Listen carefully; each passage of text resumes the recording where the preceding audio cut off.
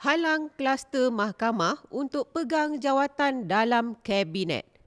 Kawan-kawan, kami dengar ahli-ahli parlimen yang sedang berhadapan dengan kes jenayah di mahkamah begitu agresif melobi jawatan di dalam kabinet Anwar Ibrahim. Amat menakutkan apabila penyokong-penyokong mengeluarkan kenyataan secara terbuka yang Zahid Hamidi patut dilantik menjadi timbalan Perdana Menteri. Kita kena hentikan semua ini.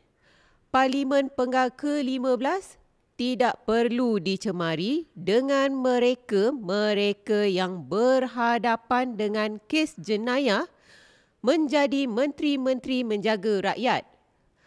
Rakyat Malaysia, Jom kita bangkit. Sign petition ini. Boleh klik link di profil untuk support petition Kabinet Anwar ini. Okay?